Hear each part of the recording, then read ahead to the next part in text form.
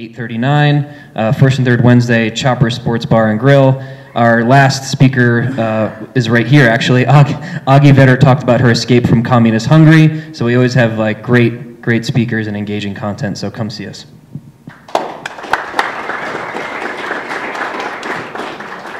So Justin stole part of my introduction, which was uh, he is the founder of the Liberty on the Rocks parent organization, along with Amanda Mill. Why don't you wave to the crowd, Amanda? They started this organization eight years ago?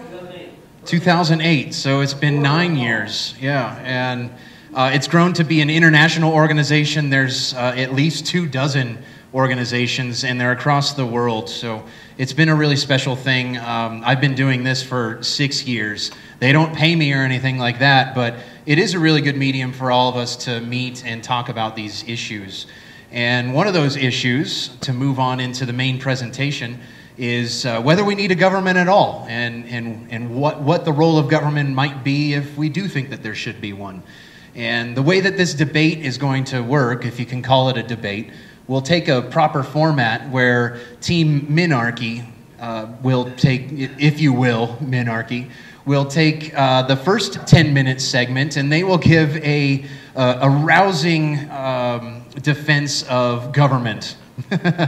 a challenging task indeed for a libertarian crowd like this. But Dave Walden in the white shirt over there uh, would consider himself an objectivist. And to his right, our left, John Kranz, both are very loyal, longtime uh, members of this club, and I have really enjoyed having them here, and I've learned a lot from both of those gentlemen. John, would you consider yourself a libertarian of sorts? Little L. Little L libertarian. Good. Okay, so I wasn't too far off the mark. I hate putting people in boxes, but sometimes you need to. Um, and guys, you can turn on your microphones anytime too. Uh, debating them tonight will be Team Anarchy. And Natalie, I'm going to have to ask you to move, actually. right, right in front of there. Cheer, cheerleaders.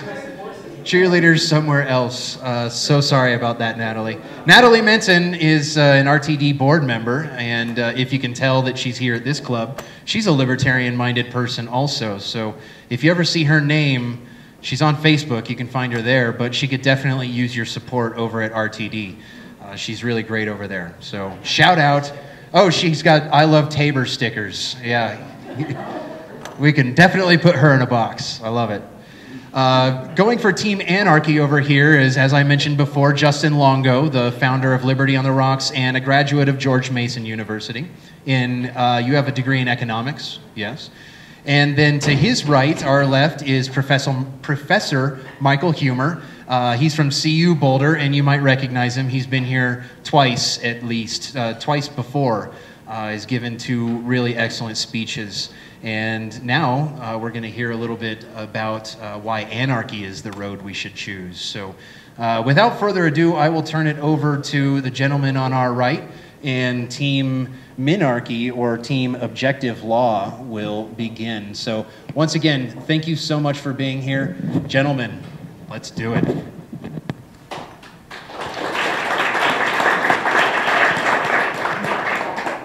Huh? Five. Five minutes. Everybody hear me okay? Uh, as uh, Mike indicated, I'm an objectivist. I call myself an objectivist. Now, as such, Rand's fictional character, John Galt, represents an ideal of what a human being is capable of becoming if, of course, they're omniscient. Rand once defined Galt as the man who always knows what he's doing. Well, I've never met anyone that always knows what they're doing, but it's a nice ideal to be strived for. At the height of the Roman Empire, Londinium was a city in England on the Thames River that was made a crossroads of trade and commerce by a bridge built across the Thames River by the Romans, Roman engineering. When Rome fell, nothing was heard from Londinium for over 500 years. It essentially disappeared, as did much of Europe without the tyranny imposed by Rome. Now, why do I bring that up as the start of my advocacy for minarchy? And that is because human nature is composed of many elements, one of which, that I'm sure uh, Justin and uh, Michael will cite, is the desire and need for freedom, to be able to use one's judgment and to act on it with as minimal constraint as they can fashion. Another of human nature's needs and requirements is order and stability. And the fact that the Dark Ages uh, followed quickly on the heels of the dissolution of the Roman Empire, and nothing was heard from Europe because Europe was dominated by bands of gangs, tribes, groups, marauders, with the only security being behind monastery walls and other fortifications that might be erected to protect those that needed protection from these gangs.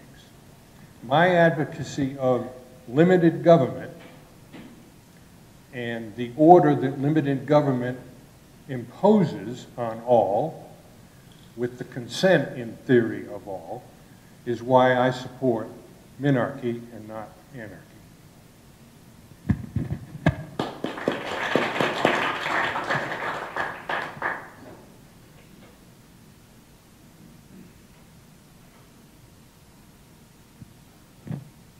two. A cold coming, we had it. The worst time of the year for a journey. Yep. I think we're good. Louder?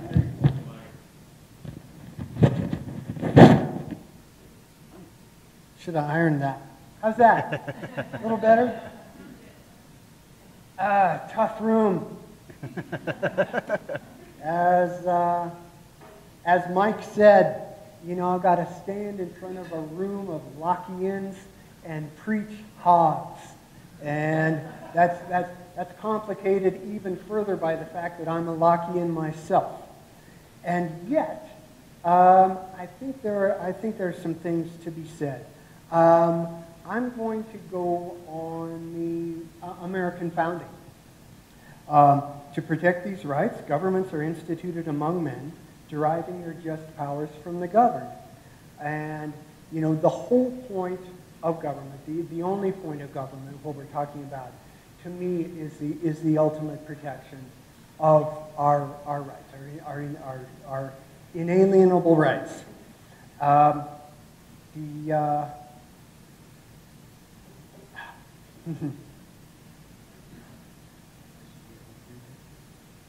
um, that I, I, go back to the uh, uh, Randy Barnett wrote, wrote the second best anarchy book there is. I think Dr. Huemer probably wrote the best one. But uh, Randy Barnett wrote the second best one, which is The Structure of Liberty. And it provides a pretty compelling case about how, you know, you could make private contractual agreements with a right, rights protecting organization. But without a, uh, without a kind of uh, appellate process on top of that, I just don't think that you can, you can ultimately get uh, protections from that. Um, all the uh, anarchists and, and the socialists, uh, a couple of things they have in common is that they can draw out some pretty nice utopian things. You know, we, we can talk about, oh, well, this, this could work like this. You know, here's how it would work, and it, it would be great.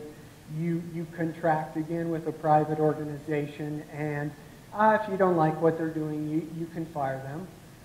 That's great. Um, I'm an HOA uh, board member, former president, and it's, it's, it's not quite as easy to get uh, rid of even private arrangements as some people think.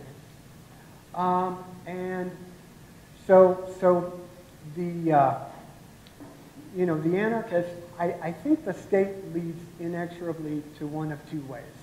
Uh, I, I think they say, oh yeah, well you have a, you have a constitution, but you're ultimately going to get the EPA, and you're ultimately going to get, you know, the FDA, and it, it's just, it's just destined to grow.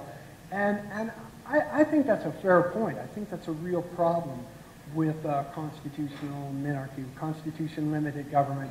It's, it's definitely very difficult to keep the limitations. But I, I think the, uh, the anarchy things also have an inexorable thing that they would go, you know, on the bad way to a kind of Hobbesian dystopia where a very rapacious person could, could take over and uh, mess, with, mess with people's rights. Um, we, had a, we had a meeting yesterday, and uh, Dave, Dave laughed at me for, for invoking LBJ so many times. But uh, uh LBJ, if you read the Robert Caro biographies, was a really rapacious individual who just, who just got fixated on power and everything that came in his way, the Senate rules or the campaign finance or, you know, needing to fix an election, you know, everything that was a block to his power, he was just able to game the system and smash it. And so my, my one concern with a, with an anarchist setup, with a private uh, rights protecting agency, is that somebody can game that and take it all the way to Hobbes' dystopia. The other fork is to take it to Disneyland. And I like Disneyland and I like Starbucks, but, you know, Disneyland and Starbucks are not going to protect your Second Amendment rights. They, it, they, they shouldn't. They're, you know, by Friedman, they should maximize profits, and your profits are not going to be maximized, and you're going to be under threat of lawsuit. And it's going to be best to tell your members, oh no, we'll, we'll hire the security. You don't, you don't need to arm yourself. You don't need to arm Did I beep? I think you did. Am I Yeah. done? Yep. Um, so I think those are the, the two things. Yeah, he's not as talkative. Dave, stop short. Dave, Dave is not as talkative as I am. We, we've, we've all learned that. Um, and, and so th those are my, my two problems. The, the bad places that a, uh, a, a private security arrangement can be. And again, I love Starbucks, I love Disneyland, don't write me down, but I don't want to live there 24 hours a day. I don't want the corporate interests that run that in charge of protecting my rights to burn the flag, not get my uh, car searched, and um, free speech. I, I think there are a lot of things that we are given by our constitutional merit. All right, thank you. Yeah. So we heard from Team Minarchy, and now Team Anarchy is going to give their arguments for their position. And then after they're done, then Team Minarchy will give a rebuttal to Team Anarchy. So Justin, take Check, it away. check. Hey, hello. Can you hear me? When I say the state, I mean the state, government. I mean government. So I use the state and government interchangeably. Just FYI. Okay. Pro Professor Huemer and I are under no delusion that we're going to change very many minds tonight. What we intend to do, rather, is to reframe the discussion and reframe the issue in your minds. It's confusing and it's muddled, and for many different reasons. One reason is this issue is so confusing is the A word, anarchy. Now, I'd like to strike that word from your minds. Don't think of the word anarchy any longer. I'm not talking about anarchy tonight. What I would like to reframe this issue as is markets versus monopoly. That's, that's what this issue is in my mind. Human beings need goods and services to survive and thrive in the world. The question then becomes by what mechanism do we produce and distribute these goods and services? Things like food, shelter, protection services, roads, and yes, even the rules under which we live, all must be provided to us in some way, manner. So the question is, how does that happen? Richard Dawkins has a famous one liner that he uses that fits very well with what we're discussing tonight. When he's talking with various religious people about atheism, he draws common ground by saying to the Christian, for example, Mr. Christian, there have been 1,000 gods worshipped throughout history. You're an, you're an atheist when it comes to 999 of them. I just go one God further. And that's how I want to reframe this issue tonight in your minds. Our opponents love and revere the market, there's no question about that. And they want markets to provide 98% of goods and services. We just go 2% further. So we're not asking you to be anarchists or to choose a system of anarchy, because that makes no sense. It's nonsensical. What we're asking you to do is to choose the market system. So, why markets versus monopoly? Why am I saying that? The state, government, is a monopoly, and a coercive one at that. It's not like a private company that suddenly comes to acquire 100% of market share. The company still has to ask you to buy its goods or services. The state, however, does not have to ask you a damn thing. It compels you. Meaning, even if we're talking about 1 or 2% of goods and services in the economy, say protection services, for example, let's talk about protection services. The state doesn't ask you to purchase protection services from them, it compels you by stealing money from your paycheck every two weeks and using that stolen money to provide you a police service, whether you like it or not. We have no say over how much these police services cost us. We have no say in the manner in which they're delivered to us or the quantity in which they're produced. It's just your money or your life. That's it. There is no say. All the failings of monopoly provision we instinctively fear are worse when it comes to the state, state's monopoly provision.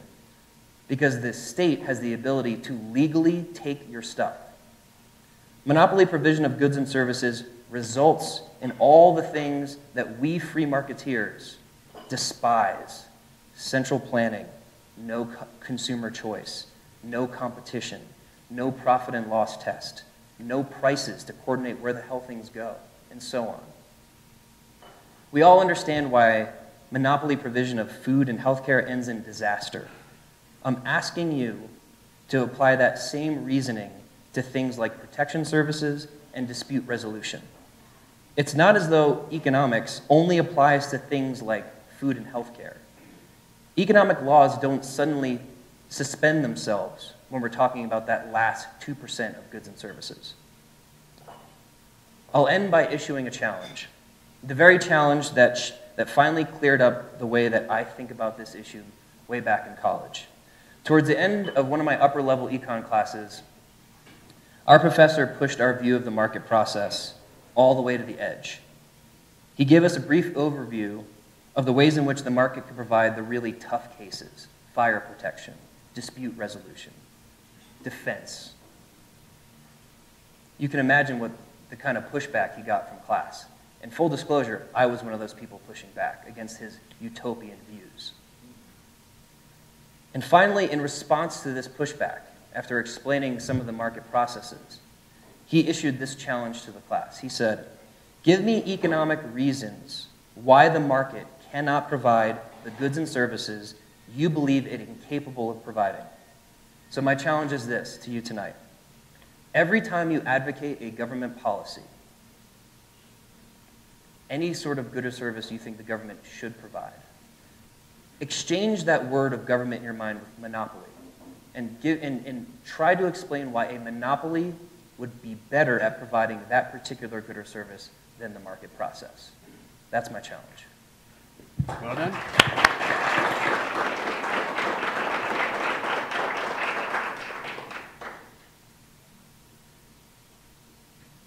Okay, testing. Can you all hear me?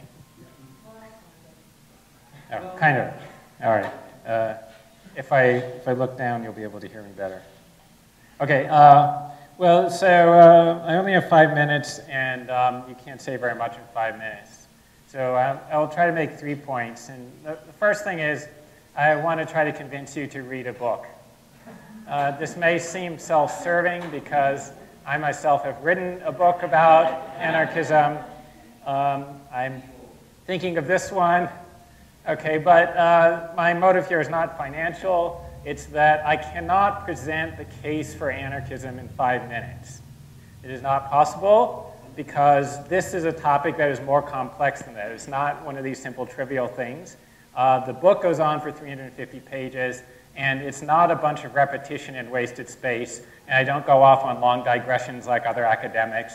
The 350 pages is actually all argument. It's actually all presenting my point. Uh, for comparison, I heard that there were a lot of uh, Randian objectivists around, so for comparison, imagine somebody asking you to um, explain and defend Ayn Rand's philosophy and respond to all objections that I can think of. You got five minutes, go. Uh, it wouldn't work, they would be totally unpersuaded because it's just not a five minute topic, they have to read a book. You would tell them, here, here's a book, you know, Atlas Shrugged or whatever, go read that, okay. You have to read the book. If you haven't read a book on anarchism, you just don't know what you're talking about. Uh, and then after that, there would be a point to then coming and asking me questions or objecting to things I said in it. Okay, the second point that I wanted to make was about um, objectivity. So I hear people saying that um, we have to have a government because we have to have objective law. Um, this strikes me as a really serious confusion about what objectivity is, and a very surprising one for, some, for somebody whose philosophy is named after the concept of objectivity. Objectivity does not mean, you know, being in accordance with the wishes of one really powerful person. That's not what objectivity is, okay? That is what you get with government. The difference between government and anarchy is in the government, there's like one really powerful organization that gets to force everyone to do their will. That's not what objectivity is. Okay, this is a little bit like the divine command theory in metaethics, which is the theory that what's morally right is determined by what God commands. That is not a form of objectivism, right? That does not give you objective values. That gets you values that are dependent upon one really powerful person. Being objective means not being dependent upon the wishes or beliefs or whatever of anyone, right? Not even one really powerful person. Okay. Um, the reason why anarchists um, don't want a government is not that we're against objectivity, it's that we don't think that the government will really protect our rights. Here's an analogy. Why do you not want a world government? The reason why I don't want a world government is not that I don't want there to be objective law or whatever. And probably most, probably even if you're an anarchist, you don't want a world government either. It's not because you don't want objectivity.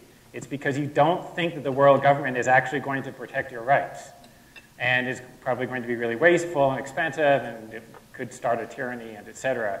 Those are the same reasons why the anarchists don't want a single government even within one country.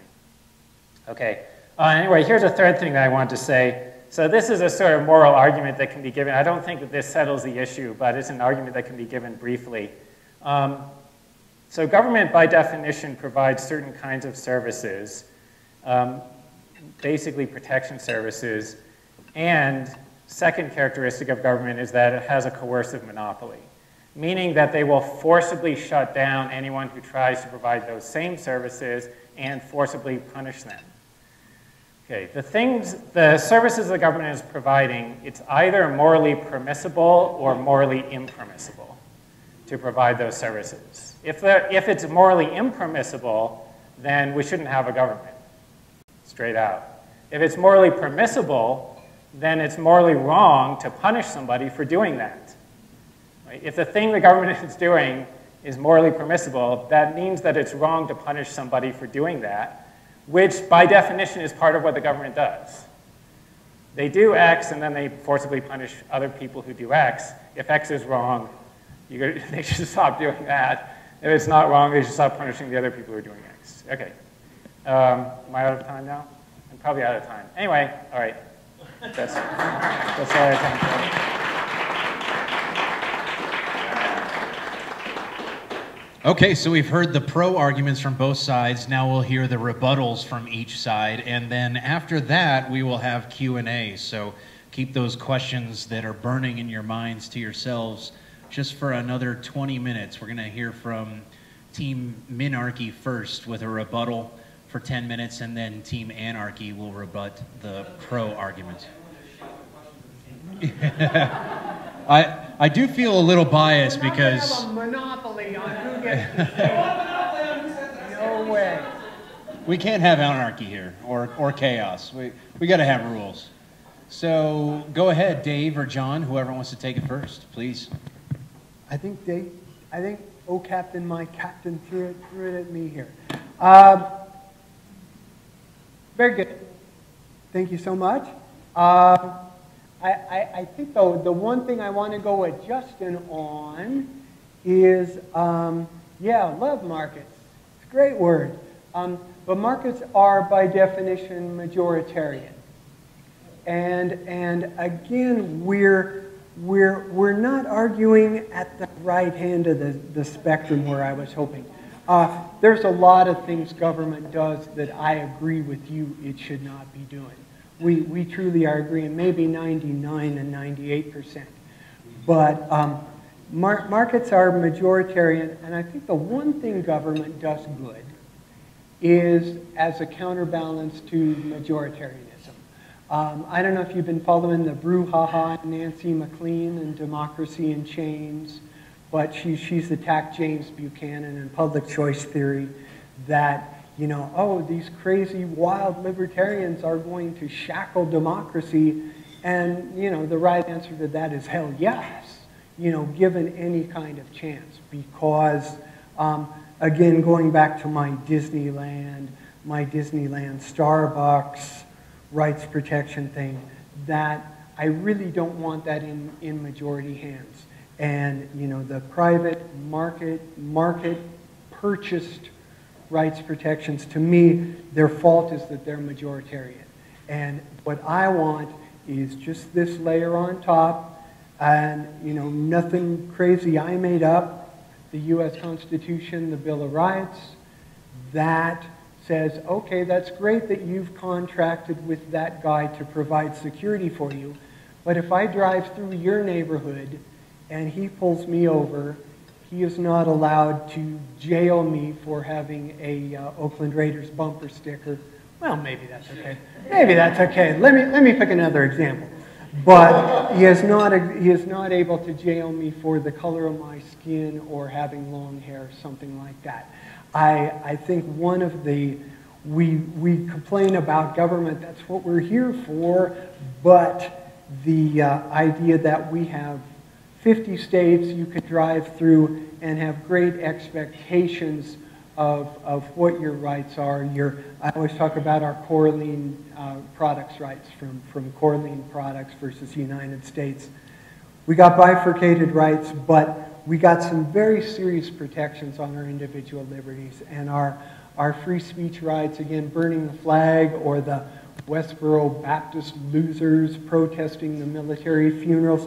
We, we got some pretty impressive guarantees of our individual rights. And I'm sorry, I just don't think in a majoritarian market situation we would get the, oh, I've been yapping and I didn't set the timer. What was that? Is that my five and, and give David his five? Is that fair? Sounds good. Can you hear me again? The reason I cited Rome in my opening was not because that was an example of a just and proper government. It was simply to remind everyone what happens when whatever order and stability the markets are operating under, if you take that order and stability away, you get the equivalent of the Dark Ages. Across the entire area where that order and stability, whether it was imposed tyrannically or democratically supported by the people, when it subsides or goes away, then that ugly aspect of human nature that goes, goes along with the wonderful aspects of human nature that makes markets also makes tyranny. With respect to some of the points that you guys made, well made, I might add, in our country, the attempt was made to make governments competitive.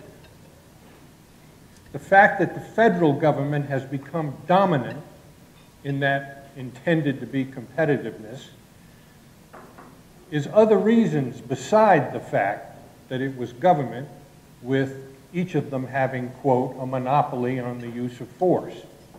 So I would argue that there doesn't have to be one government to which you answer, or each of us answers. It can be many competitive ones. That if you don't like what is going on with one, just like in the free market solutions or the anarchist solutions, you're entirely free to move.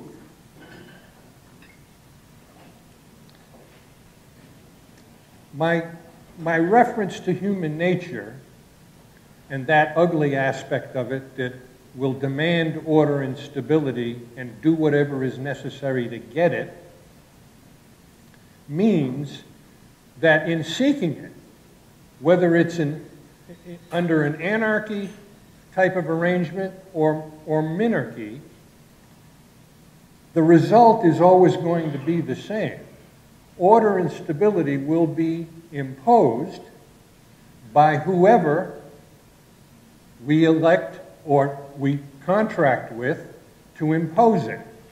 To the extent we don't agree with it, in an anarchist world, we simply sign another contract with another provider of it. Well, that works fine, but ultimately you're going to end up with people competing for your subscription, your contract.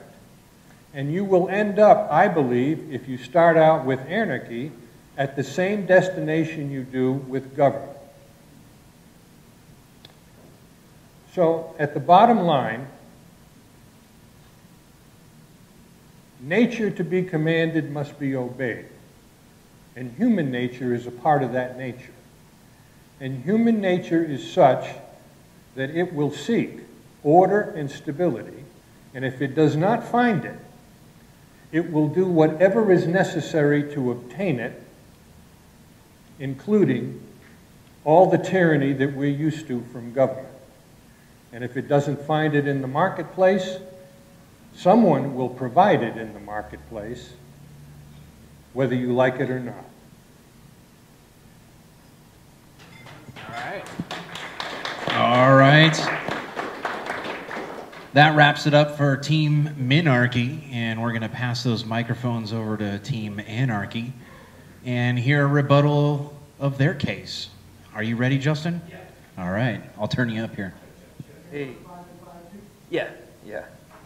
Um, all right, couple of common responses and things I know you're thinking about our position. Again, I don't want to use the A word because I think that confuses and muddles things. We're asking you to choose markets. Okay. Show me one anarchy that ever existed. Okay, I could show you that, but the better response is show me one minarchy that ever existed. There's never been this theoretical night watchman state, if you roll back America's founding all the way to 1789 when the ink was drying on the Constitution, and you let it, the, the, the, game play out the way that it did, does it ever end up not here? Of course it ends up here. You, you wrote down on a piece of paper the ability for people to steal, legally steal, and legally compel people against their will. Okay? So that leads me to the next point of the human nature point. Oh, humans are fallible, humans are sometimes evil. How could we possibly allow humans to be in a market and sell each other things like goods and services? There'll be evil people in the market. That's a better, of course, there's, there's fallible people, of course, there's evil people, but I would rather them be in the market asking me to purchase their protection services or whatever services than be, be drawn to the lovely, intoxicating government where they can steal and pillage and rape and murder at, legally under the veil of the law. Every, look, every two weeks your, your, your paycheck is being stolen from. And so the whole idea of like a government being this protector of your rights, how do you have a protector of your rights that can take from you every two weeks? We need a government to protect our property. Well, where are they getting the funds to protect your property? Oh, oh, they're taking it from my paycheck. Oh, so, so you're, you're, you want something, someone to steal from you because you're scared of someone from stealing, you're scared about somebody stealing from you. It's a contradiction. It's a contradiction that you have to own up to. So what we're saying is um, human nature because it's scary and sometimes evil, it's better to be in a market situation where you don't have the legal compulsion that the state has. So that you have this decentralization of power, you don't have this centralization of power. We don't want power to be centralized. And what they're arguing for is power to be centralized. Last thing, you're going to be coming up with all of these ideas in your head, like how in the world could the market provide X? Okay? To ask that question is to totally miss the point. You ever hear of I Pencil, that Leonard Read essay, where he tries to describe the fact that no one understands how the hell a pencil is made? This pen, th- let's pretend it's a pencil. A, a pen a pen is sitting in my hand and no one can tell you how this is made because thousands of people across the world that has never met each other came together because of the price system, because of the market. They came together and they produced the pencil, and there's no one person that knows how to make one. So imagine me, imagine you trying to answer the question, well, how would a, how would a market and protection services exist? You're asking a question that misses the point. Hayek was very clear on this is impossible knowledge. This is unknowable knowledge. We have something in our hands right here, and it's still unknowable. Can you imagine trying to figure out the next market, the next iPad out there? There's no way you could do that. So the reason we have markets is because questions like this are unknowable. You have to allow entrepreneurs to, to respond to prices, and the only way you can have prices is by having a market. When the government provides a good or service, there is no prices, and there's nothing for people to respond to. And in the markets, we have a profit and loss test. If you don't, if you don't please your customers, you get a loss, you go out of business. When the government doesn't please its customers, customers, what, is, what happens? It gets more money. So, the question, if you're asking the question, how would the market provide something? You miss the point. Read Hayek, read I Pencil by Leonard Read. Understand that this is unknowable knowledge, and so to ask that question is to miss the point. I think that's it from my response. Excellent. Thank you for your contributions, Mr. Longo. We'll move on to Mr. Huemer now. Okay, um, can you hear me now? I'll bring you up. Oh, all right. What if I put it closer? I'll move. Leave it. I'll move you up. Okay. Um, well, I don't know. I have five things I want to talk about. I, I don't think I have time. To, okay. Well, so um, we should have government because we need to have stability and order. Well, the argument of the anarcho-capitalists is that the system would be stable and orderly. Uh, you don't have to have a central person directing everything in order to have order. There's a thing called spontaneous order, which all libertarians should be familiar with because we talk about that in the context of you know, everything other than protective services, uh, why you don't need the government planning things. Uh, for example, there's language. Where did language come from? Well, nobody designed it. It didn't come from the government.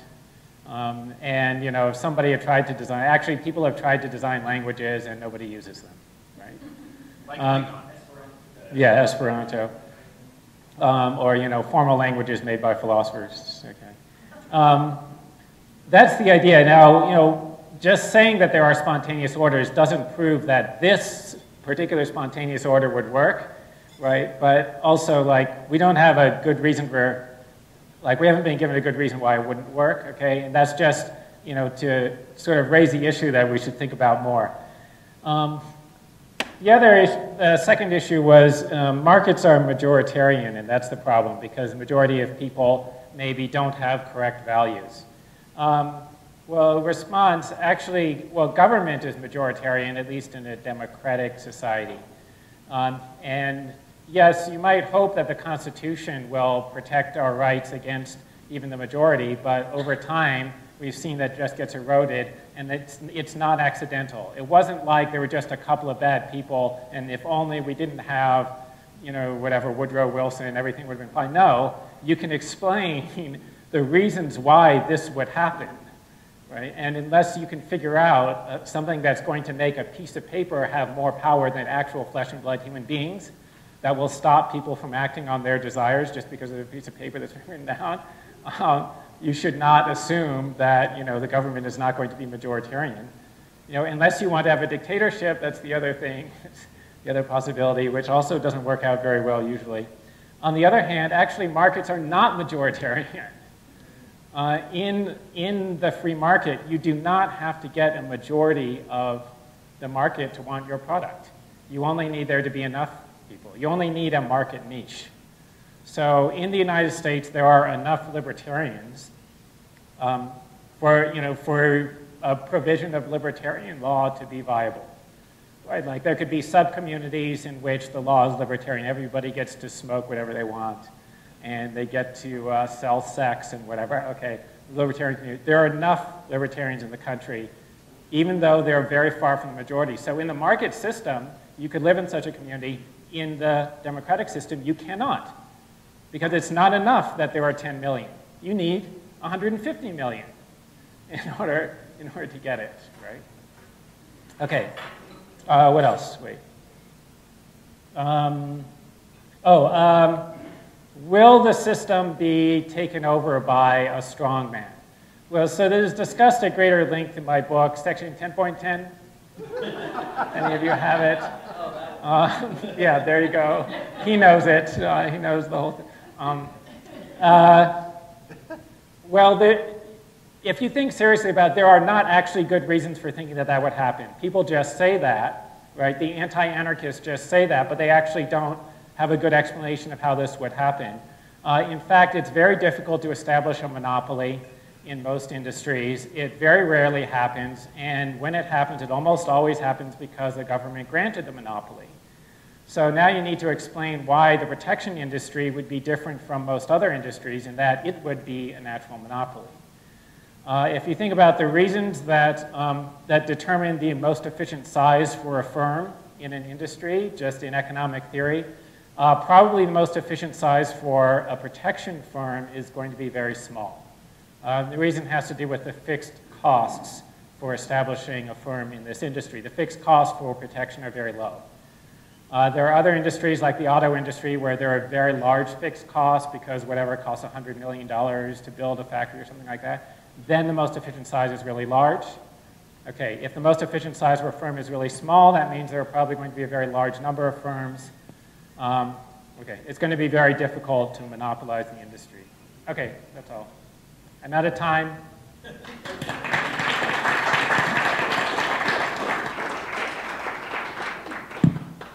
Awesome. But uh, Sarah, no, she just left. Yep, we'll try to get one for you. Uh, we're going to turn it over to questions. we need we need government to hand out the beer. Uh, Wendy is going to point this shotgun. We're going to have some. It's going to be a little bit a little bit difficult uh, because.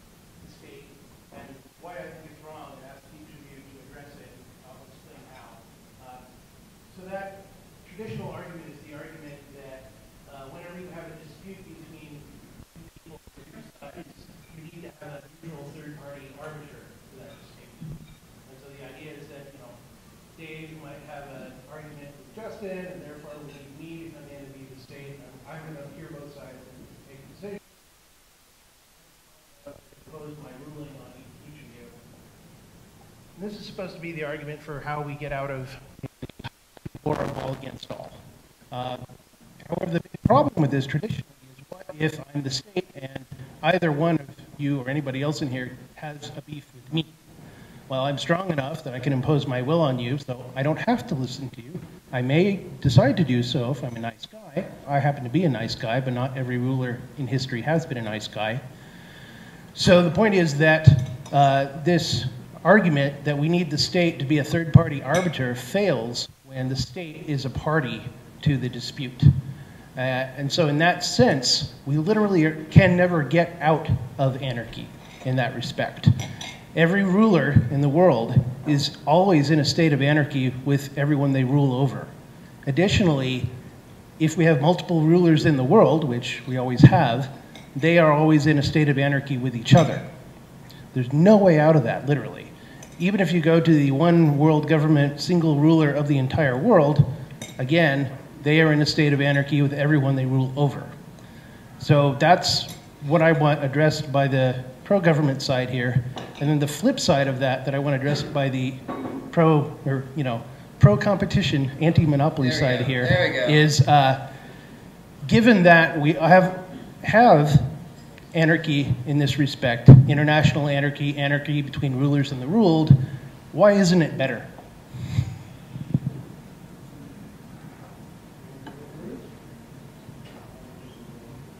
Who wants to start?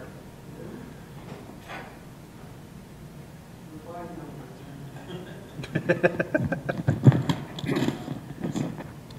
guess I'll say. I think, I think it's important, Tim, and everyone else, to recognize the following fact.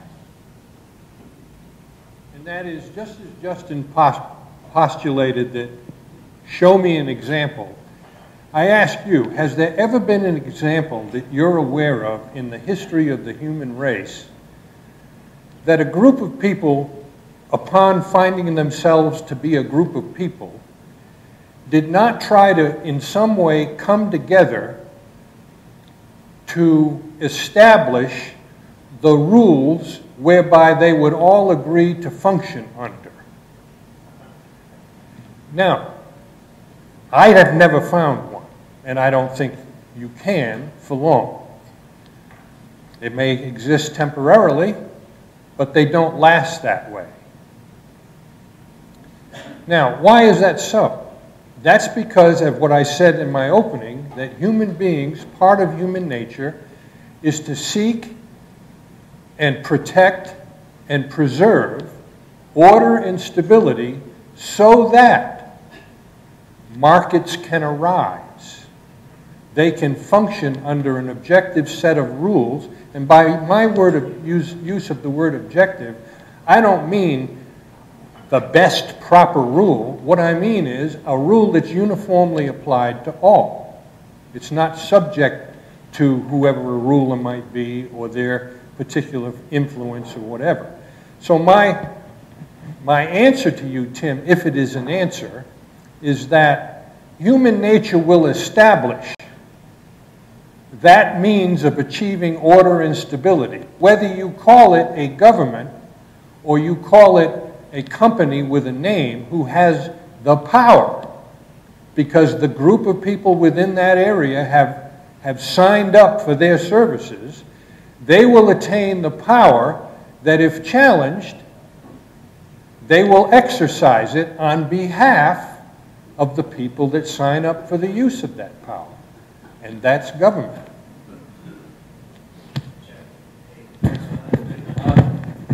So, we market non-monopolist people. We are not against rules. I love rules. I love hierarchies. So the question is, how do rules happen in a market?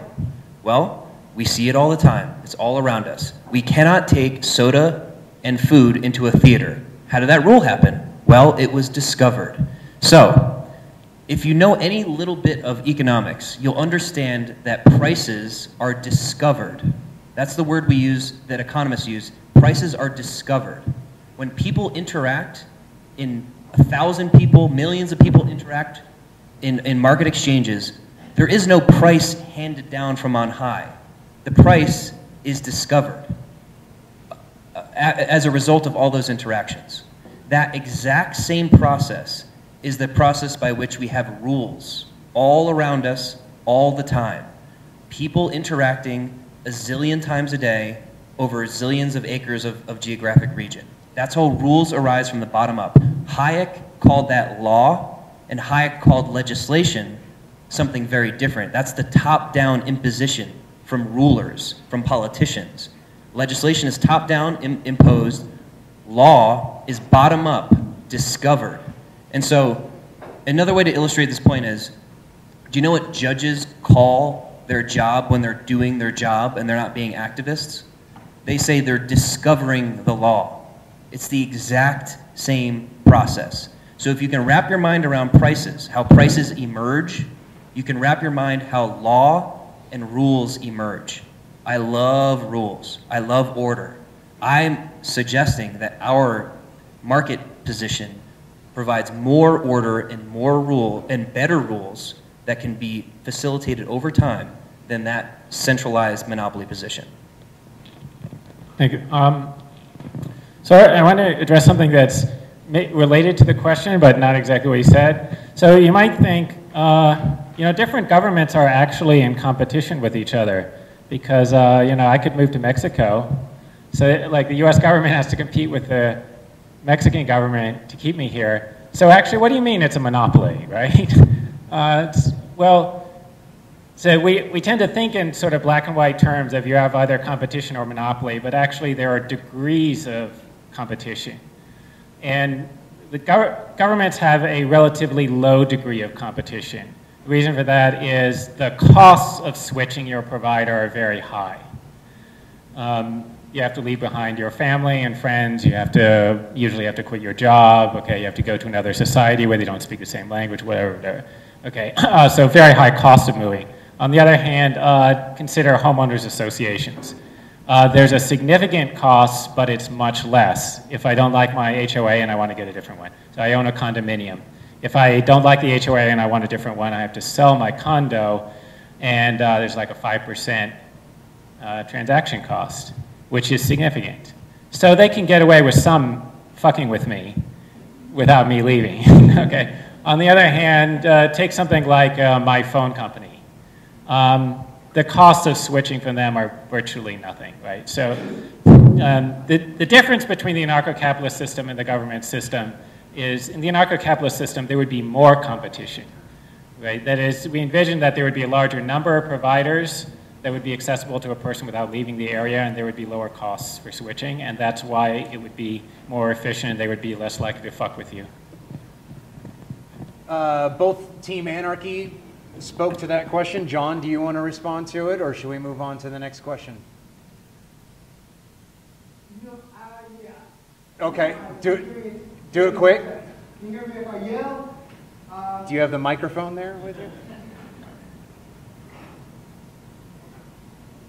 Uh, just, just one quick thing on the, um, I agree when we go against the government in a lawsuit, we're at an extreme disadvantage. I, I, I don't disagree with that, but just so much of my foundation of wanting a regularity is that we do, that it works.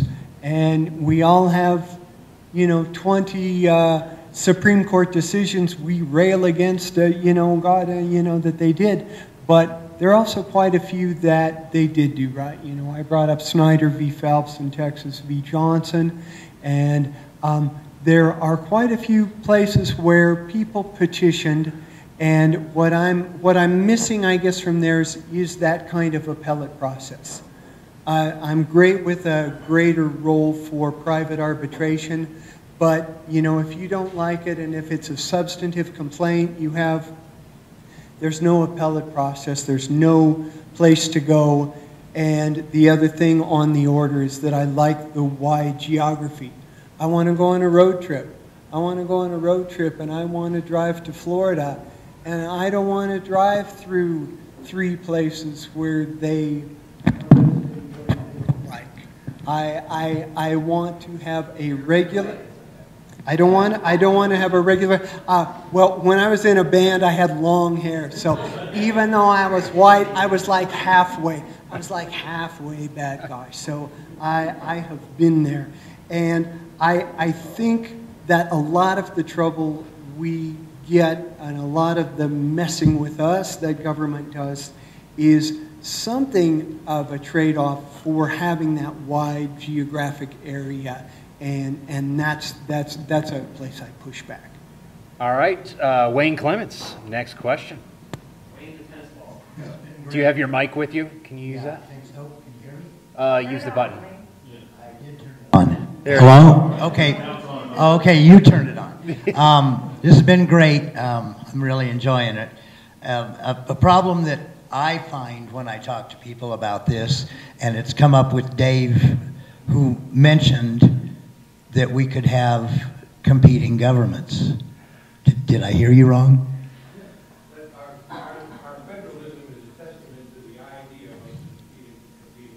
Okay, so then let's more correctly describe what a government is. Because if I have the ability to move to another government, um, then it's not, uh, you know, he put it on a scale, so I, I wouldn't say not coercive, but it's less coercive. And I think that's where we, can you still call it a government if you're allowed to move away?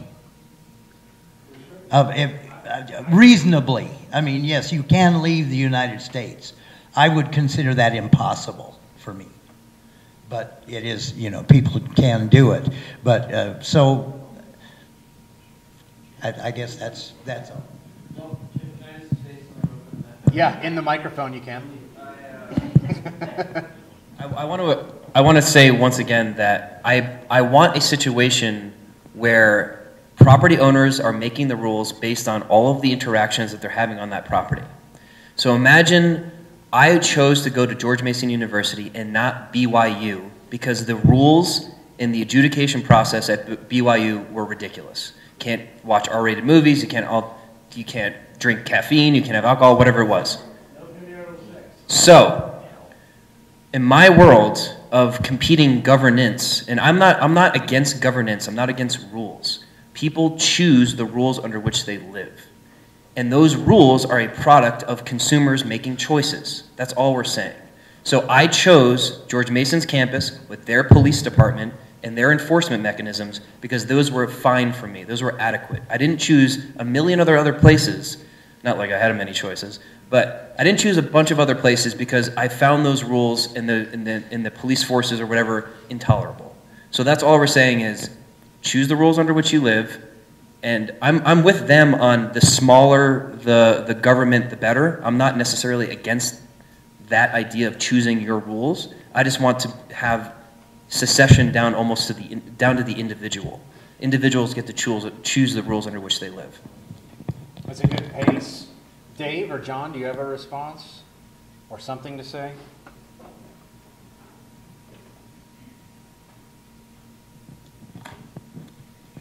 The the, the issue of that we're talking about, anarchy versus minarchy, several hundred years, se several hundred years ago, I'm sorry, I shouldn't have used that word, with all due respect. Um, the reason we're having this discussion, and we could not have had it four or five hundred years ago, is because of the example under which we live. Now, the question, the, the abstract question that, that is at play in this discussion is did the United States of America become the greatest civilization in history, going from a largely unexplored, unpopulated wilderness to that greatest civilization in history because it either came closest to no government or because it came closest to limited government. And that is the question. If you believe that, that what we take for granted in this country that allows us to sit here and discuss whether there should be no rules imposed by a monopoly or some rules imposed by a monopoly that virtually everyone can agree upon. And that is the question. And our side of the argument is such that the example that was attempted by the founding of this country came closest at the time in our history that it did because it represented the best thinking at the time. the, the thinking that was most informed by reason at the time. And it is reasonable to outlaw murder. It is reasonable to outlaw theft. It is reasonable to impose on every parent that they take care of their children and properly feed them to the best of their ability. Those things are reasonable. We come to that position because our thinking is informed by reason. And I would argue that it is reasonable to have rules that everyone must abide by, though they must be extremely limited. And in the absence of having a philosophy that says that ought to be pursued with reason as the guide, you will have that aspect of human nature that I spoke of initially rise to the forefront, markets or not. All right. Thank you. Uh, Ari is the next questioner. Do I have to do something or is it on? It's on. Okay. So I have a, I have a couple of cases for the anarchists that illustrates that, that to me seems especially seem especially troubling. Case one, under these competing defense agencies, you kill a homeless guy who does not happen to purchase any defense services. Case two, parents of a girl have her genitals ripped out of her, and their defense agency, of course, is totally fine with this. And the girl herself does not hire any defense agency because she's only, however, seven or seven or whatever. Under system of competing defense agencies, victims in these kind of circumstances, if they are to get justice at all, it seems to be by some sort of charitable, you know, we're going to pay for a charity to go after cases like this. But it's not, there's nothing default about solving cases like that. Where at least with our system of justice that we have, the default standard is those perpetrators are going to be prosecuted just like anyone else. It doesn't matter if I murder Bill Gates or let's say person if you murder Bill Gates or a street bum. You go through the same system of justice, you get this exact same criminal sentence. Now, we all know that the criminal justice system that we have often falls down. A cop can kill a black man in a car because he's reaching for his wallet and obeying the orders of a cop. And the cop gets, you know, if, if he's really unlucky, he gets fired. So we know that the system falls down. But we recognize that as a failure of the existing system, contrary to its standards. When the street bum doesn't get justice in, under competing defense agencies, that's not a failure of anarchy. That's how it works. That's how we design it. That's how we expect it to work, unless there's some added some, something like a charitable, charitable defense agency. And cases like that seem really morally bothersome to me. Um, and I think that that gets to some of the complaints on when people talk about subjectivism of the, the subjectivism of, of it. I think that that's part of what they're trying to get at. So, can you, what, how do you deal with that?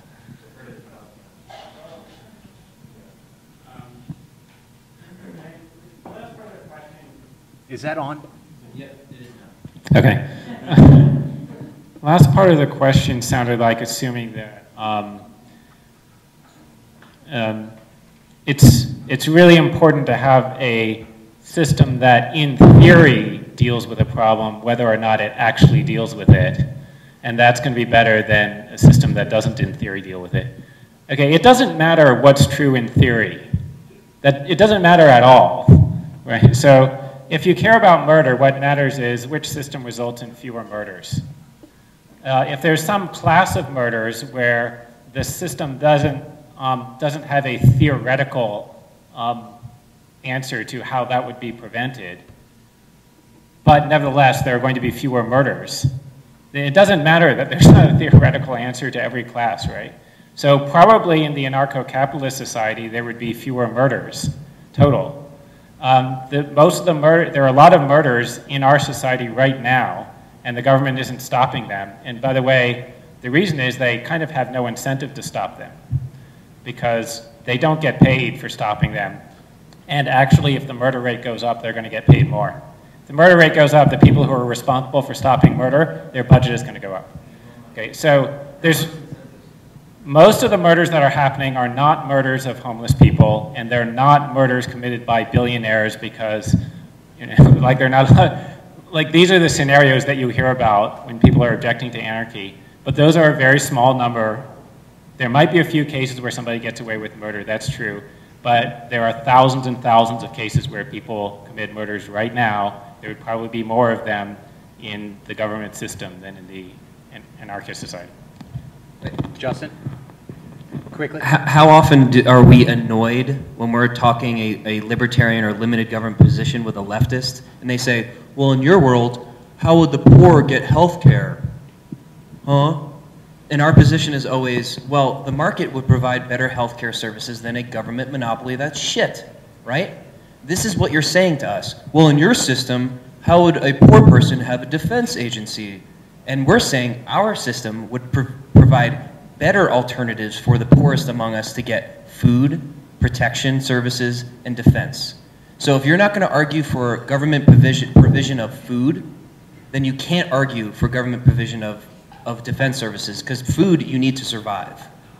So I don't think you want to take, you know, I don't think you want to bite that bullet of saying, well, I'm scared of market conditions and the poor not being able to have food, therefore I need the government to provide food.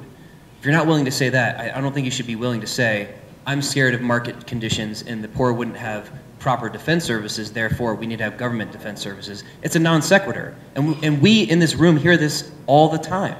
All the time. How will the poor be fed? How will the poor have health care? And we always have the same response. So I'm saying just say that same response to yourself.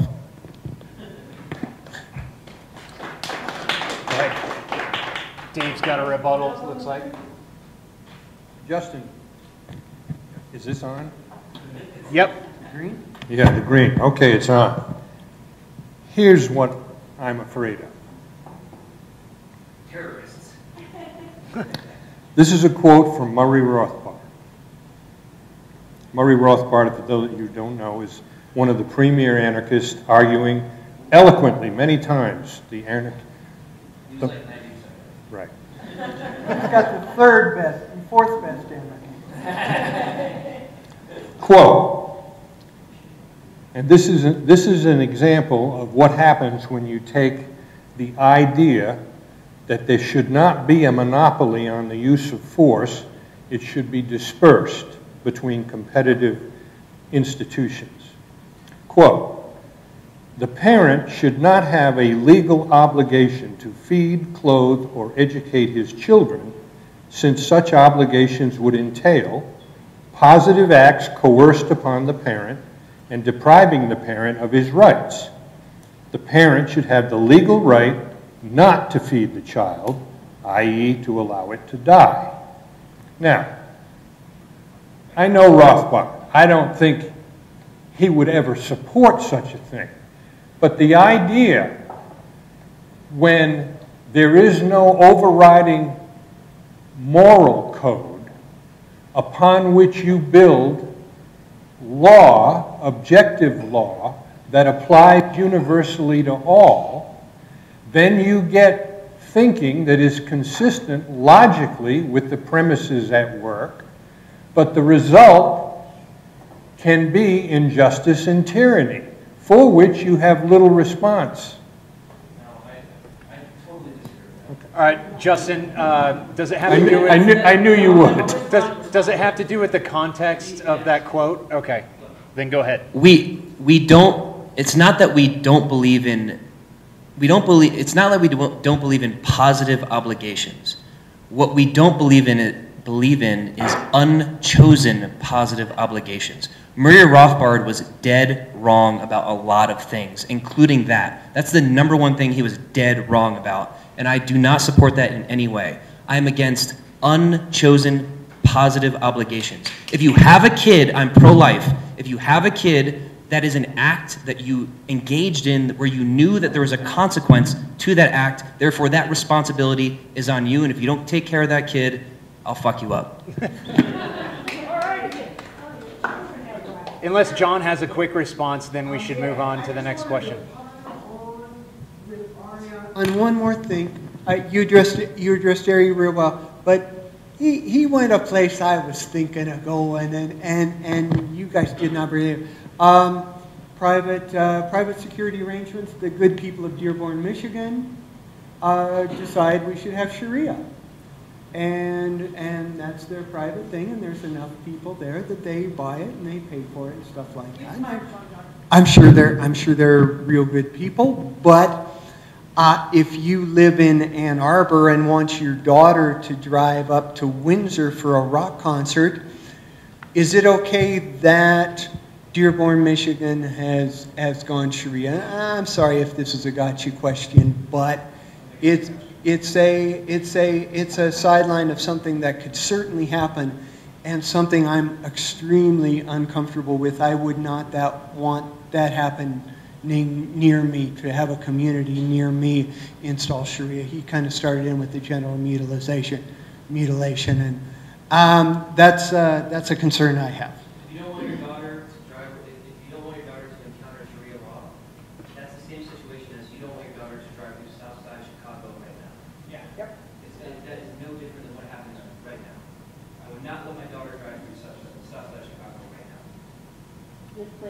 All right, who has the next question? Eric. Uh, so the reason for my question, the intent of my question is to give you, not to attack uh, or challenge what you're saying, but to give you an opportunity to explain how it would work. Uh, one of the things that you said was very appealing to me. You said individuals could choose the system that they live under. And presumably that means that I could choose a different system than my neighbor. Uh, the state of Colorado had a ballot initiative to split off of part of the state call it the 51st state uh, for the purposes of not being governed by the rules of, of Denver, basically, and to allow fracking and to allow gun ownership and that sort of thing.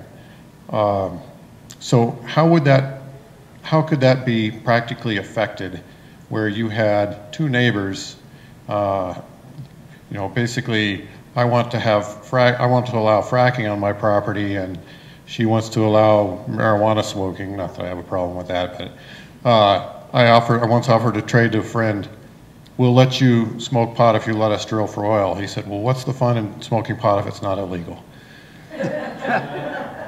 uh, but I mean, don't you? I mean, the the idea of government close to the people goes back to the founding, and the the 50 laboratories of democracy as have been alluded to, are a great idea. But we, for interstate commerce is one example. Another example in Colorado, uh, we have a state law that uh, concealed carry has to be allowed in all in all counties and all cities unless you specifically post it. Uh, we, are trying to have some sort of harmonization of rules so that you don't have to make the circuitous route when you travel and go around Dearborn, Michigan. So how do you affect what is the practical way that you can subscribe basically to different systems of government that are contradictory? Who wants to start with that one? No one? It seems like a treacherous paragraph question. I don't want to monopolize. Yeah, we, we have to compete with each other. yeah.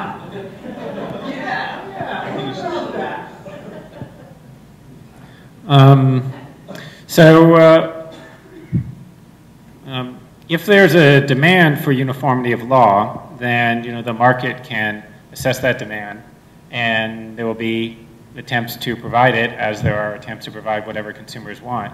So, suppose that um, law consumers, as it were, which is all of us, um, get upset when the law changes a lot as they move around.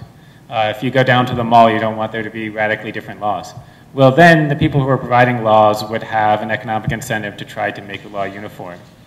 As they would try to make their laws similar to the kinds of laws that the people who were coming to their property were expecting to have. Um, and um, I mean, in, in the governmental system, the people who are making the laws just have a lot less responsiveness to the demands of the consumer. There's, there's a economic mechanism in the market system for people to respond to the demands of the consumer. There is some mechanism in the democratic system, but it's just a lot less effective right? And the reason it's a lot less effective is um, it depends upon voting, and most of the voters have no idea what's going on, and the voters, most of the voters don't care because they know it's extremely unlikely that their vote will make a difference, et cetera. Okay, but in the market system, you can actually just choose a different provider, right, and then you get that. Is that good? That answer. I liked it. How about the other team? Okay. Megan, did you have the next question? Yep. Yes. Stand up on the chair. So I know I'm only five two. Can you guys see me over there? Oh, full disclosure, tell us who you who you're dating. Oh, I am dating one of these uh, wonderful speakers. I won't disclose exactly who. Guess Um, the age range. I actually know part of his opinion on this because we've discussed it before, but uh, first of all, thank you for your thoughts. I've appreciated everyone's on the panel. Um, for the three of you who I'm not dating, I would be interested to know, um, as as I think I'm a I, I'm a philosophical anarchist, I have a really big problem because the idea of property rights troubles me sometimes. Um, and that's because uh, being a part of the marginalized groups in society, by being a woman when it comes to leading and how society is built, um, I wonder how we resolve the issue of property rights for marginalized citizens because, as we currently have it, the government basically has control over all property that isn't privately dispersed. So, how can a marginalized group of people become independently wealthy or become uh, or, or progress without being able to get themselves into this whole idea of, of owning and uh, establishing property? Because it's, it's, it's very hard to see from a, a woman's perspective. It's, it's very young that women are leading and at the top of their ranks and making the amount of money that women are today. So I would be curious to know what you guys think about that. So Justin should not answer this question first. Once again. I'm kidding, Justin, if you want to, but uh, Team Anar- Minarchy, do you have a response? I, I just wonder if we have a, uh, a, an agreement here. I, I worry that so much of the impedance to progress there has probably come from government.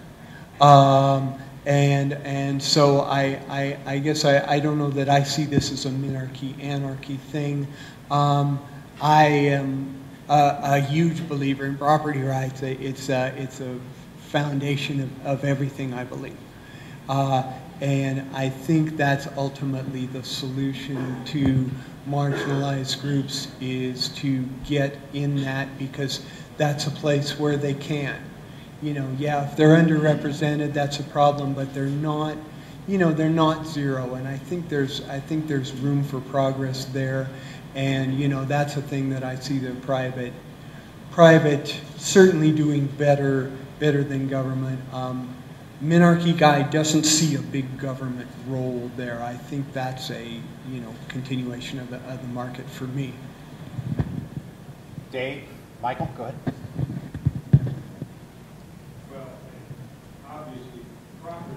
Is the foundation for all human rights. If you don't have the right to property, you have no human rights because ultimately the thing that you own most privately and personally is your own life. But I agree with John. It's not a question of government and no government. You're absolutely right. The government owns most of the land that's not privately owned, is owned by the government, and you can't simply utilize it even if you've got a wonderful idea. It doesn't belong, and, and so in that sense, it limits your opportunity. In this, in this discussion, there's a fundamental problem to begin with, in that both of us are arguing on behalf of an ideal vision. We, none of us can point to an example except in, in very limited capacities.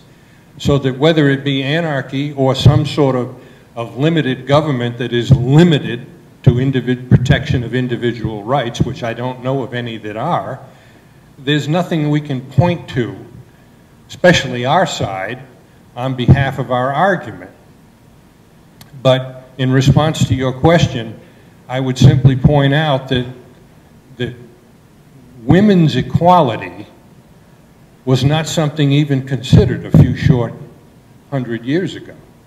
And in, in the West, in America in particular, that has now risen to the point where the awareness of the inequality and the attempts to do something about, them, about it, um, however poorly or efficaciously done, is a product of the very society of limited government that we're living in.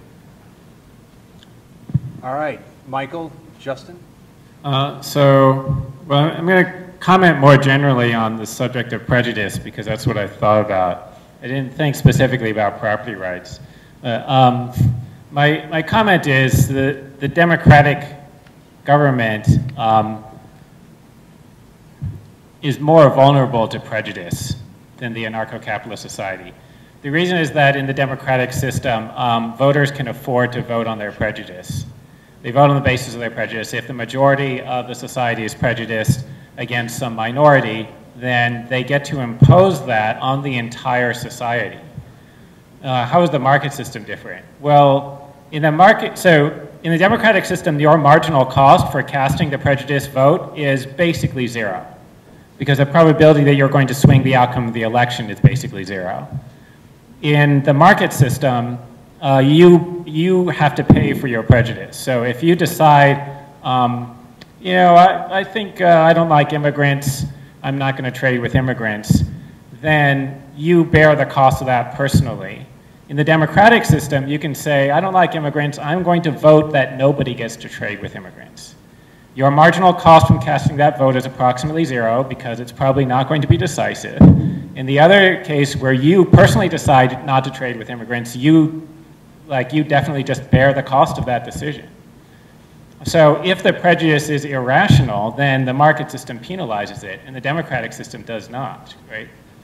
Um, so, uh, and you know, this is related to the point that the market system is not actually majoritarian. You only need to have a market niche. Uh, so if there are some people who are not prejudiced, and then they go ahead and they hire the minorities that the majority don't want to hire, um, then they're going to outcompete the people who are prejudiced because they're going to get good workers at lower prices you know, because of the prejudice of the other employers. Okay, great. Uh, Bill? You have the mic. Bill. Should be on. Denver represent. Let's see, hold on, right now. Try- Speak, speak it, speak it.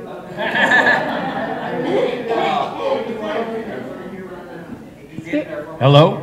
Is it working now? It is. I would just like to offer a couple of observations for the debating teams to, uh, to discuss. One is the difference between bottom up and top down. I believe that markets are a bottom up phenomenon. They occur naturally, spontaneously. They are not driven by any central power. But yet, the innumerable um, rational decisions, or irrational, of people within a market causes the market to have a direction that is not centrally planned but is beneficial to all the people. I believe that the anarchists are arguing that markets are, are much more positive than the top down opposite. I think the top down concept of the minarchists leaves you open to the question of gee, how do we get people who are moral enough to run all of this power? And I would submit that the top, that's the problem with the top down model, and that the way to get rid of it is to not to have it. I would love to hear both of the sides comment on that.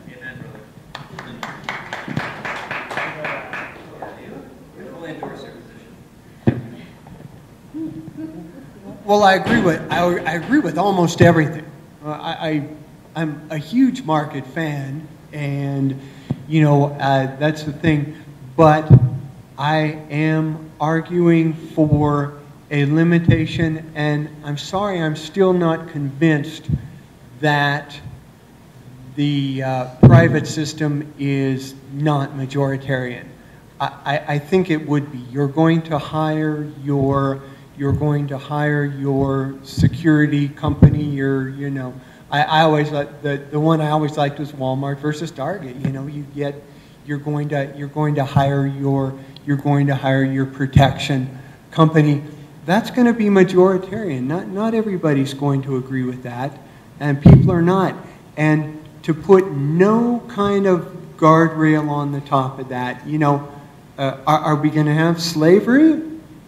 Um, you know, I, are, we, are we going to have some of the things that we have constitutional protection against? Is that going to be okay if there's 200 guys in the neighborhood and 101 guys in the neighborhood say they want it?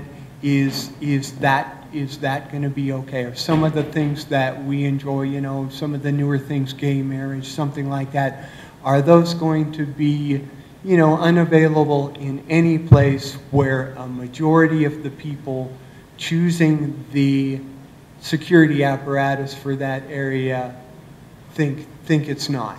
I, I think we need some protections on top against uh, majoritarianism. I would stress that the system that you're describing sounds like an election where 51% gets to impose their will on the rest of the people. What we're saying on this side, on the market side, is that is not that markets are infallible and markets are utopia. There will be murders, there will be discrimination, and there will be bigotry. But in this market system, people pay for their bigotry. You have to pay to indulge your discrimination. How does that happen? Well, imagine that you're an employer that hates red-headed people, and you say, I'm never going to hire a redhead ever. They have well, no souls. They have no souls, for example. we, all, we all know this is a fact, but in order to indulge this, in order to indulge this discrimination against redheads, I, I, I shrink my supply of employees by by all the redheads that I'm choosing not to hire. The same goes for women, the same goes for minorities. If you're a landlord and you refuse and you just hate people that look like Wayne, I'm never going to hire people that look like Wayne. Guess what? The, you're, you're limiting the amount of people that you're going to you're going to allow in your in your tenement. So every time you indulge some racist or bigoted preference in our system, you're punished for it. It doesn't mean that it's not going to exist. Of course, it's going to exist. But every time you want to indulge your bigot, bigoted position in the democracy system, in the top down system, all you have to do is get 51% of your buddies who are also racist, vote it, into, vote it into law, and impose that will on everybody. That's the difference. Over here, you pay for it. Over there, you don't pay for it. No. All right. Dave? Dave, did you have a response? Or I hate to give it to John right now. He's. he's we'll move. Jim Crow's a government program. we'll move on to the next question. It's on. How do you guys deal with conflict of visions? Two segments to the question. One globally, and then one more on a individual basis or a small group basis. And an example globally, let's pretend that all of North America is in some minarchist or anarchist system, but South America is run by some dictator and he wants to nuke all of North America. How do you deal with that? There are two conflicting visions. What is a market way to deal with that? And then on a more individual basis, let's pretend that there's two different groups. One group over here who's a bunch of murderers, and that's their ideals. That's the system they want to live under. They like murder. They like coming over and popping you up or whatever. Uh, but this group over here doesn't. So, two conflicting visions, completely conflicting, even um, resulting in death. Um, how is that handled? Who wants to start with that one? Probably the anarchists. Go ahead. I'm just, I'm going to comment on the um, uh, South American who wants to nuke North America. Um, I'd like to point out that actually all of the nuclear weapons that have ever existed were built by governments. It was a government that designed this, and uh, if the human species is extinguished, it will almost certainly be extinguished by a government, uh, either by nuclear weapons or by some even more fearsome weapons, and I'm sure we have people working on them right now, right? whatever will be the next even more deadly weapons. Um, I don't have a, um, I I don't have a plan that will absolutely prevent anyone from using a nuclear weapon. Okay, but I think like just having the government increases the risk, right? Good point. I just want to add the, the, the case the case about being scared of war. If you're scared of war, the last thing you want is a government that taxes people, where they can offload the costs of the war machine onto people that have no choice on whether they can fund it. So if you're scared of people building weapons, coming up with new weapons, using those weapons, this is what's happening right now a lot of your a lot of your paycheck is going to bomb women and children in wedding parties in Pakistan, whether you like it or not. I don't I don't see how what you're asking is is is not what's happening right now. The question is not about war. It's about the conflicting visions of this place who won't have nukes or whatever with this place over here that's com- a dictatorship. I mean, globally, we How does have the, that. how does the state solve that? I don't understand. I'm not saying that the state is solving that. I'm Okay. asking how the, you would, you would solve it. Right, how markets would solve it. We, we do have a global uh, uh, conflict of visions.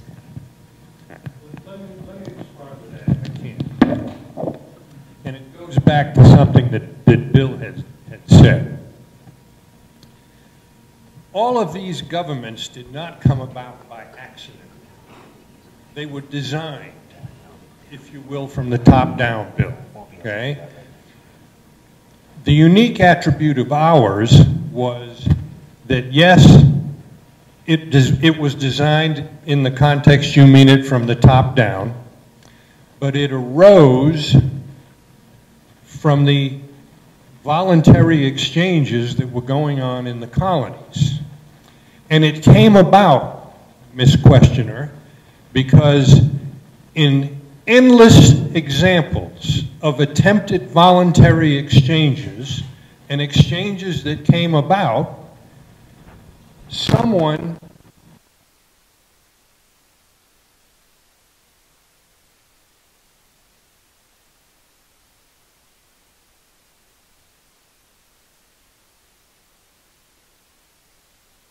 up with a way that it happened.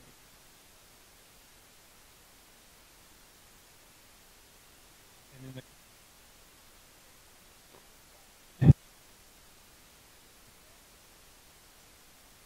Now, will attempts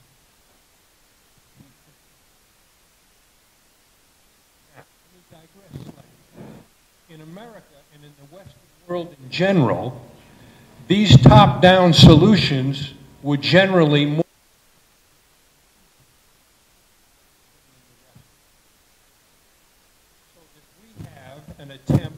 to limit the top-down solution, not eliminate it, limit it, and codify a body of law consistent, most consistent that we can imagine with reason. And that leads to the, the word that you just skimmed over in your question. And it had to do with morality. Reason informs morality. Morality informs politics. If all that was necessary for justice order and stability with the freedom to engage in economic transactions, then bottoms-up freedom would have won long ago. Because the efficacy of free markets and capitalism are demonstrable beyond measure. Okay. Who's the next questioner? Well, actually, um, if you would address the second part of her question as to the more localized um, aspects of that, you, you have a set of people, a group of people.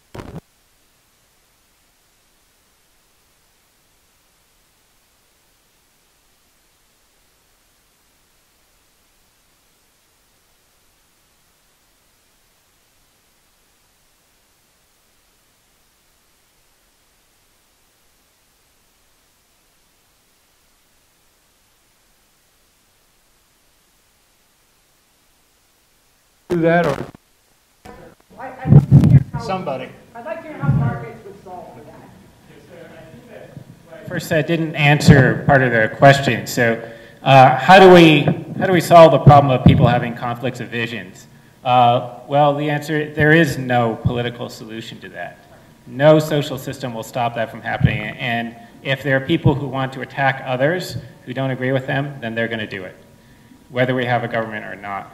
Now, I mean, as to the example that you just said, uh, I don't like examples that are bizarre and totally unrealistic because I think it doesn't matter if we have an answer to that. So there aren't a bunch of people who think murder and rape is cool, uh, but there are like, uh, you know, Islamic extremists. So what are we going to do about that? Um, in the end, what would, what would in fact happen in the anarcho-capitalist society is probably they would form their own enclaves. They would probably be like Muslim neighborhoods, and maybe they would have their own laws. Maybe they would do a bunch of bad, unjust things in their own neighborhoods. And probably the neighboring people would think that's fucked up, but they probably wouldn't do anything about it because they don't want to start a violent conflict. And it's just how it goes. Uh, and you know, nothing is going to be perfect. So, so in that sense, the, the market system, oh, I have, I have to speak into the microphone. I'm the one that's been doling it out, I should know. So in that instance, um, you know, religious sect of any kind, um, they're doing horrible things within their own community,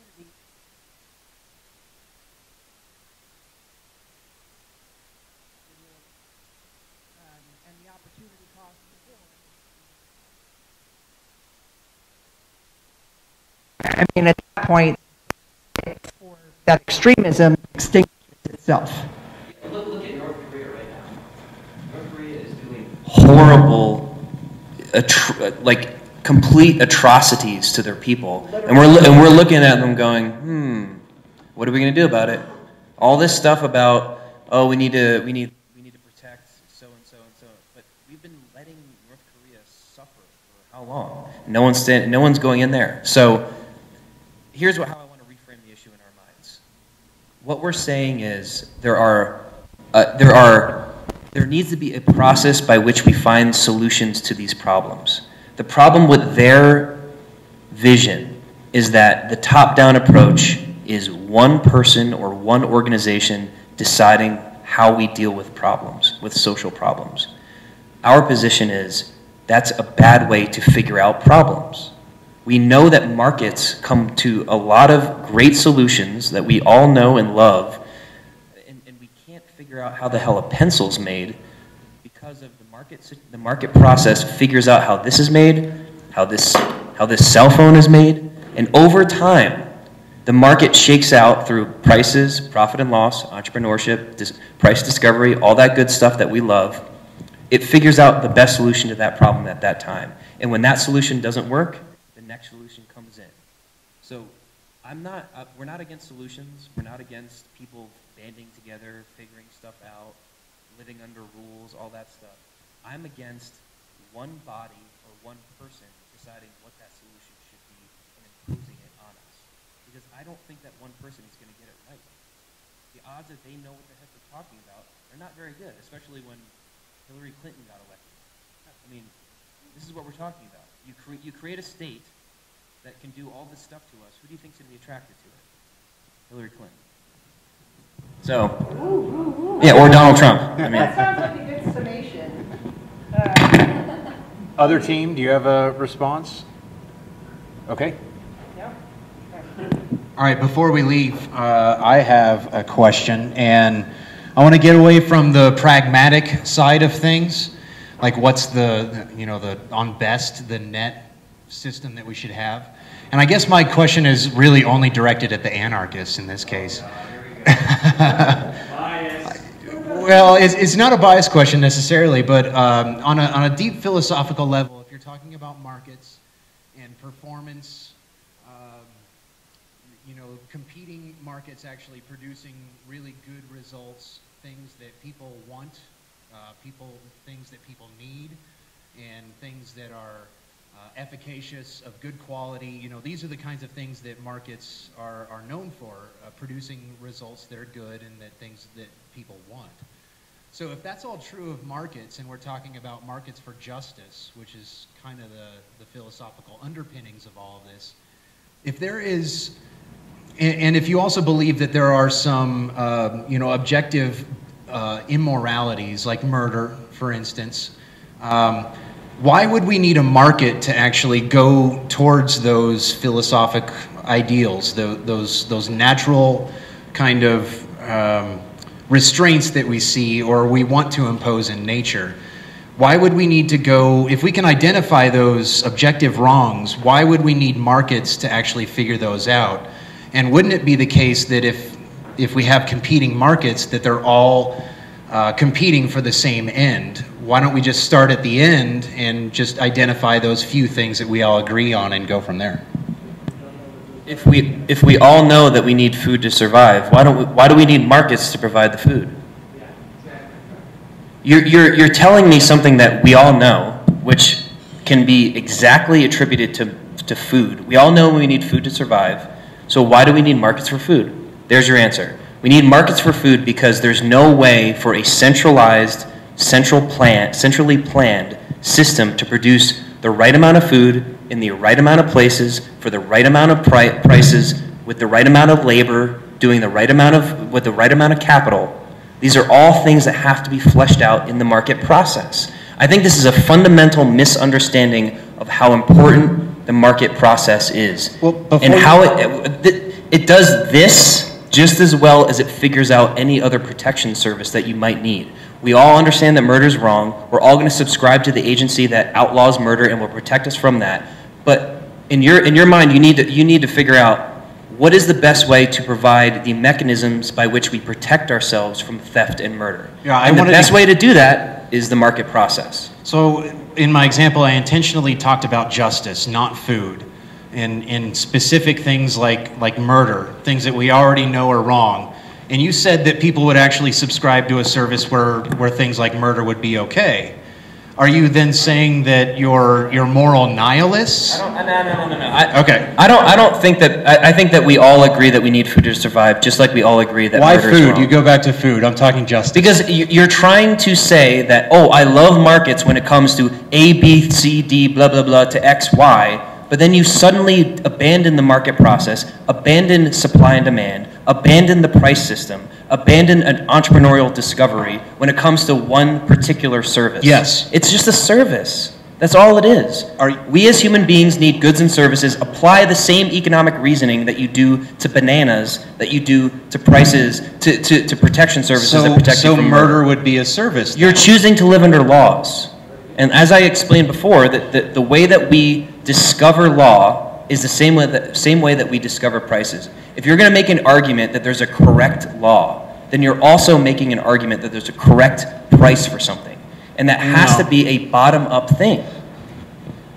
Uh, so I, I, I, think this might, might be the answer to your question. First, um, there are some people who are bad is a relative minority, is a kind of a small minority of society, but nevertheless, this minority of, of society who are just bad and just want to live as predators on other people can create a lot of trouble. And, and so like that's one reason why we need the market to provide protection. Uh, second, there are some things that are actually not obvious. Uh, there are some sort of broad principles that nearly everyone agrees on, like murder is wrong. But um, in the complexities of human life, people run into particular circumstances in which they have disputes about what's right or wrong. Uh, and then you need a process for resolving that. And you know that, that's the place for the arbitrators. And it is often not obvious and it requires somebody who's particularly qualified at thinking about human problems to, to try to resolve it, right? Now, the, the market process doesn't guarantee that you get the objectively correct norms. Um, neither does the government process, but the argument would be that the market process um, is more likely to give a reasonable approximation. And why is that? Because the arbitrators who are making rulings, um, they want their ruling to be perceived as fair by the majority of other people out there who weren't involved in the case who might someday need to use an arbitrator. And they will only go to this arbitrator if they, if they can agree with the other party that they're having a dispute with that this is a fair arbitrator, right? So there's a, like, there's a market incentive to try to make decisions that are widely perceived as fair. Notice, by the way, that actual judges and legislators don't really have that pressure. Other side, do you have, well, I said it was really only for the anarchists, so I would be surprised if you have a rebuttal. But go ahead, Dave. Looks like you have something to say. I would, I would respond that, that whether it's food, justice, or whatever you want to talk about, in order for production to occur of that good or service, and in order, Bring that down so you're not breathing in it. in order, in order for that good or service to be produced, and for the market for it to thrive, it needs to have an overall stability and order in it, the threat of which, by any group or individual, is not sufficient to deter it. And in going back to the, the young lady's question, in the absence of collective defense and preservation of that stability and that market, it will cease to exist. It will be taken over by force. Reason will not win. Force will win. And so the hallmark of a conflict of visions is the peaceful resolution of that vision. And if, if in the absence of that peaceful resolution being able to be manifested, whether it's by government or whoever, then brute force is going to solve the issue. The only issue is who wields it and why. And while I agree that you can endlessly make the case that governments wield it badly and unjustly, in my view of this issue, whether it's markets from the bottom up or imposition from the top down, we're going to end up in the same place with an authority that is uncontestable except by force that decides what's right and what's wrong. Pretty good closing statement, and, and we heard a closing statement over here, sort of, unless you want to throw in like 30 seconds real quick just to make it fair, and then we'll release everybody. Justin? Michael? smash the state. Smash the state, okay. I, I just, I, I just want to mention two things. Number one, uh, there's a living example, if you want to read about it, uh, about what we're talking about. It's called, there's a book called The Not So Wild Wild West. And so this book explains how there was property rights, uh, rights in animals, water rights, and all the rights that we as human beings need to live in a, in a peaceful society. Those existed before government got to the western part of the United States. So read the Not So Wild Wild West. There's also, because I'm an econ nerd, and I know everybody in this room is thinking, well, how would the, how would the market provide X, Y, and Z? I had to know that myself. So I read David Friedman's epic book, The, the Machinery of Freedom. David Friedman is Milton Friedman's son. David Friedman wrote in the 70s, The Machinery of Freedom. It's been updated three times since then. And he goes into explain how you could have a market for law, a market for justice, a market for protection, and all that stuff. So if you want to learn about how other theorists have, have talked about this and historians have looked at cases about this, the Not So Wild Wild West and the Machinery of Freedom are great places to start, and I'd end with that. And, and also Michael Huemer's book. What is the name of that book, please, for the entire audience? Read the name of the book. The problem of political authority. It's on Amazon. Available on Amazon. It's very, very good. My last question was actually going to be book recommendations, so John Oh, and good, David, do you have because any? That's what I wanted to close with, since he threw books out. Go ahead, John. Uh, since, since he threw books out, I wanted to do one more. I talked about Randy Barnett, and I, I blew my time because I was going on so long. Uh, Randy Barnett wrote uh, uh, Structure of Liberty in the 90s. It's the second best anarchy book. Um, but he came around a couple years ago and wrote the Republican Constitution, which, which is the kind of heart of what I wanted to talk about. I don't know how well I did it, but the idea that we grab from the, the Declaration the correct uh, purpose of government and look at the Constitution and the ways that it has successfully that, that it has successfully implemented that. So I would toss on your reading list Randy Barnett's The Republican Constitution. It's real different for libertarians because it's the it's not the agrarian, total decentralized Jeffersonian. It's a it's a different look. It really changed uh, a lot of things for me, but it's a very good book from a guy who wrote a great anarchy book. And then Dave, do you have any recommendations for us? You know them all. It, that would be the Ayn Rand anthology. So anything by Ayn Rand, especially. I'll, I'll make a closing, a closing remark. Why don't you use the microphone? It's right there in your hand. Okay, that, that, I'll make a closing, closing remark, a- and it's the most important thing Rand told me, or taught me. And that is politics, however it's described, whether it's in a company or in a, in a government, it's driven by morality.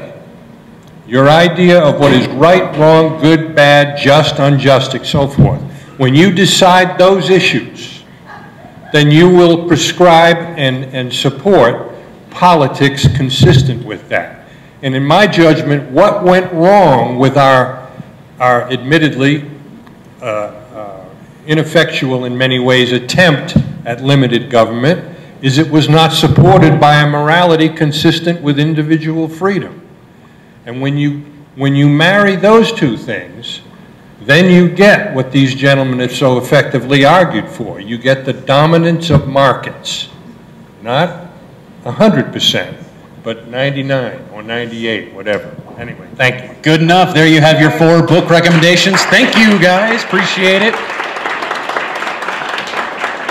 August 14th, we'll have Kathleen Chandler from the Independence Institute. She's going to be talking about the local government initiative. And then August 28th, we're going to have Thomas Krannawitter out here. He's been out a few times. He's got a new book. It's a satire, and it's called Save the Swamps. So I've invited Tom out to come talk about that new book, and he will have copies for pur- purchase and for signing. So once again, thank you, everybody. Have a great night. Bye.